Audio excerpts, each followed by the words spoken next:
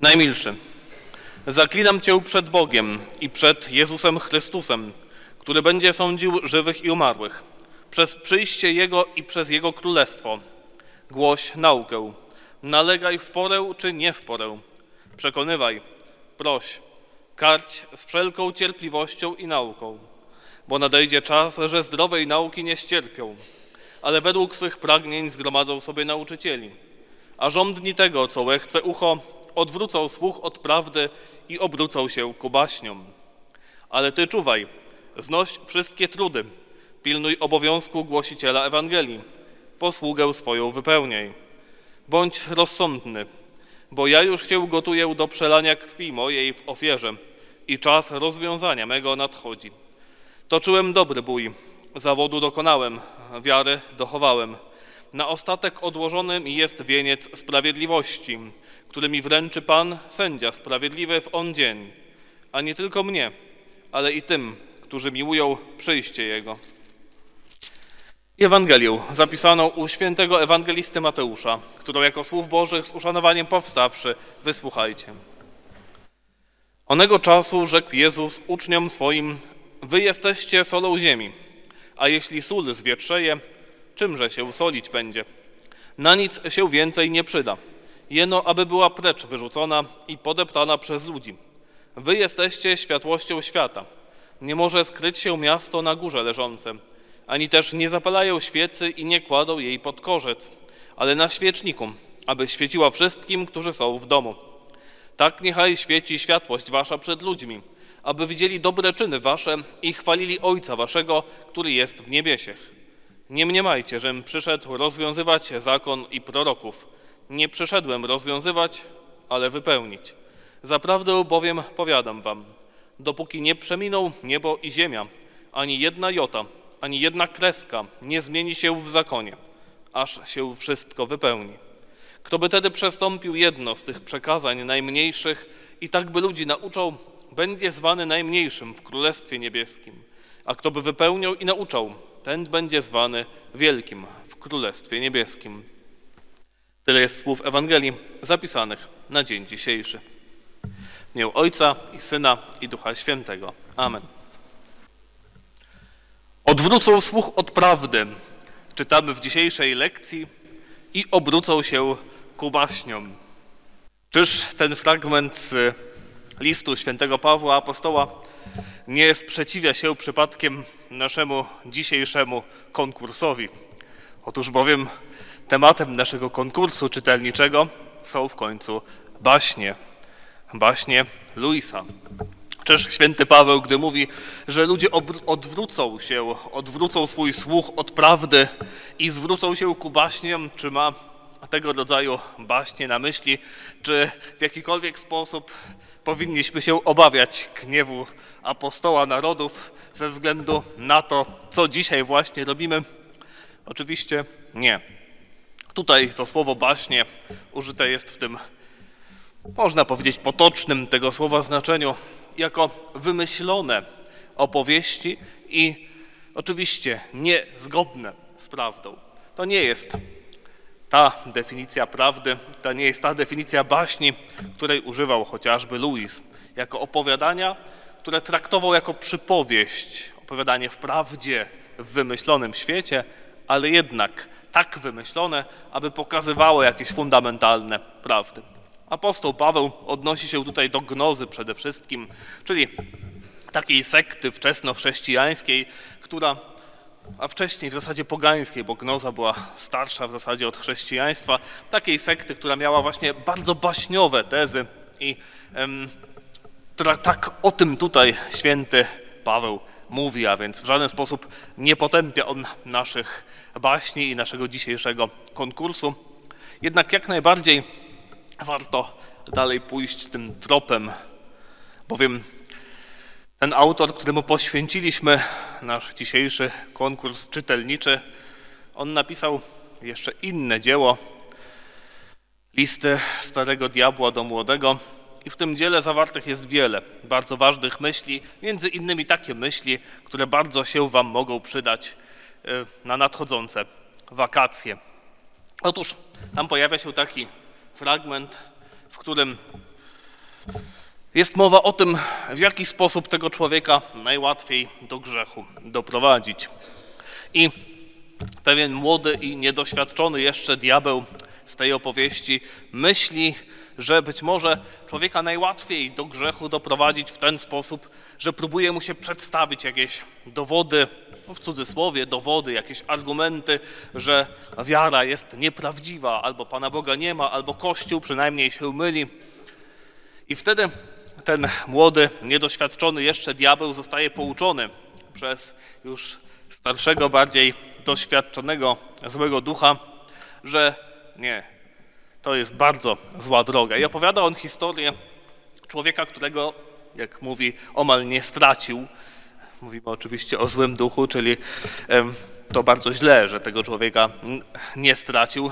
Natomiast właśnie omal go nie stracił, dlatego że próbował go tą drogą poprowadzić. Próbował mu podawać jakieś argumenty, próbował go popchnąć w stronę takiego poszukiwania rozumowego rozważania, czy to prawda, czy nieprawda, i tam próbował mu podsunąć jakieś, jakieś argumenty, czy to w ogóle przeciwko wierze, czy przeciwko Kościołowi. I ten stary, doświadczony diabeł mówi: Nie wiedziałem, w co się pakuje, bo walka na poziomie rozumu zawsze jest walką na polu nieprzyjaciela. Czyli pole rozumu jest tym właściwym, właściwym polem Pana Boga. To On jest tam na swoim terenie, bowiem Boga poznajemy właśnie poprzez nasz rozum, poprzez najwyższą władzę naszej duszy. A więc nie tędy droga. Nie w ten sposób człowieka do grzechu doprowadzić można, choć przypadki pojedyncze mogą się zdarzyć, to nie to będzie ta główna droga, którą człowieka do grzechu doprowadzić można. Jak Dalej nam to pobożne opowiadanie opisuje najprostszą metodą, i tu dochodzimy do tych bardzo praktycznych, wakacyjnych spraw. Najprostszą metodą jest wepchnąć człowieka w złe towarzystwo. Po prostu tak zasugerować, podsunąć, pod, tak podprowadzić troszkę i w zasadzie, jeśli już człowiek tam wpadnie, w takie towarzystwo, które nieustannie sugeruje, że warto taki i taki grzech popełnić, albo takie towarzystwo samo cały czas te grzechy popełnia i zachęca do tego i swoim przykładem, i słowem, i czynem, i pomaga w wykonywaniu różnych grzechów i jak się okazuje faktycznie, to niestety działa. To jest to jeden z najprostszych sposobów, w jaki zły duch może nas do grzechu doprowadzić. Wepchnąć w złe towarzystwo. W towarzystwo ludzi, którzy w jakikolwiek sposób nas do złego prowadzą. Wniosek z tego jest taki, że bardzo trzeba się mieć na baczności, że bardzo roztropnie trzeba wybierać, z kim się zadajemy, kogo dopuszczamy blisko do nas, kto staje się naszym przyjacielem, z kim spędzamy nasz wolny czas. To naprawdę nie są rzeczy obojętne i nie przez przypadek stare porzekadło, stare przysłowie mówi, że z kim się przystaje, takim się ustaje.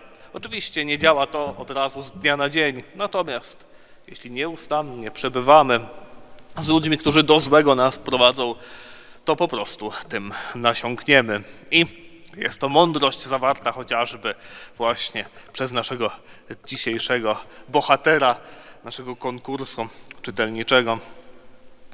Jest jeszcze druga metoda, drugi środek, który tam jest wspomniany. Oprócz tego złego towarzystwa, w zasadzie całego szeregu innych środków, ale te dwa chciałbym wyróżnić. Jest również rzecz, o której bardzo często już tutaj mówiłem, czyli złe nawyki. Oprócz tego, że bardzo łatwo jest popchnąć człowieka gdzieś tam w złe towarzystwo i wtedy jak ten zły duch, stary, doświadczony, zły duch wyjaśnia, wtedy już nic nie, nie musimy robić, mówi on. Już wszystko jest zrobione samo przez się. Tam już w ogóle nie trzeba pracy. Średniowieczni architekci, artyści mieli taki zwyczaj, że gdy powstawały katedry, bardzo często na ich szczycie, tam gdzie było to mało widoczne, gdzie dach spotykał się ze ścianą, bardzo często przedstawiali jakieś figury, które odnosiły się do kierunku, w którym będą patrzyły. Katedra stała oczywiście w mieście i rozchodziła się, te można powiedzieć, że patrzyła na wszystkie możliwe strony. No i oczywiście taka figura mogła patrzeć właśnie jedna na dzielnicę bardziej kupiecką, inna na uniwersytet i tak dalej, i tak dalej. I faktycznie mm, artyści mieli tutaj trochę wyobraźni i oni bardzo często tam właśnie na dachach w gotyckich katedrach przedstawiali różnego rodzaju diabły. No i jest taka słynna, słynna katedra, chociaż ponoć powtarzało się to wielokrotnie, gdzie Przedstawiony jest właśnie diabeł, który kusi różne stany, zależnie od tego, czy to jest właśnie uniwersytet, czy to jest dzielnica kupiecka, e, czy to jest dzielnica żydowska, to każdy tam dostaje jakąś swoją odpowiednią pokusę, czy też swój opis, jak to ten diabeł kusi e, tych wszystkich, żeby oni do tego kościoła nie przyszli przede wszystkim. No i właśnie na jedną, gdzie w kierunku, w pewnym kierunku diabeł nic nie robi. Siedzi taki znudzony. Siedzi tak z ręką pod brodą i patrzy. I właśnie interpretacja tego jest taka, że artysta stwierdził, że tam ten zły duch już nic nie musi robić, bo tam ludzie już wszystko zrobią za niego. Żadnej pracy wykonywać nie musi. To jest taka podobna trochę myśl, tak może lekko ku przestrodze. Ta dzielnica którą e, artysta tak zinterpretował, to była właśnie dzielnica studencka. Także to tak może ku przestrodze na pewno e, trochę w tym e, prawdy jest. Tym bardziej teraz w tym okresie wakacyjnym warto jest się mieć na baczności. A więc takie złe towarzystwo faktycznie może zrobić wszystko za takiego złego ducha, ale właśnie innym prostym metodą, innym prostym środkiem, inną prostą metodą jest, aby zachęcić takiego człowieka, żeby robił coś, przyzwyczaił się do robienia czegoś, co jest może nie aż tak straszne, ale jednak złe, do marnowania czasu. Przyzwyczaić do czegoś przyjemnego, co marnuje mnóstwo czasu, co osłabia wolę, co z czasem może stać się nałogiem. To również jest wielka wakacyjna pokusa, marnowanie czasu. Nie jest zdrowy, rozsądny odpoczynek, który faktycznie daje nam siłę i ciała i duszy, tylko marnowanie tego czasu, przyzwyczajanie się do jakichś zupełnie niepotrzebnych rzeczy, to również właśnie z czasem mogą stać się nałogi, może to się stać naprawdę takim, taką kulą u nogi, która będzie powstrzymywała nas w dążeniu do Pana Boga. Więc pamiętając o tym, gdy już zbliżają się, teraz, gdy już zbliżają się te nasze wakacje, pamiętajmy o tych radach, e, które tutaj zacytowałem i miejmy się na baczności. I przed złym towarzystwem, i przed złym wykorzystaniem naszego czasu, przed tym, co nas do nałogu prowadzić może. I prośmy przede wszystkim teraz w trakcie mszy świętej, abyśmy potrafili opierać się tym pokusom złego ducha, aby on wobec nas musiał dużo się natrudzić i jednocześnie, żeby te jego trudy pozostały bezowocne. Amen. W imię Ojca i Syna i Ducha Świętego. Amen. Niech będzie pochwalony Jezus Chrystus.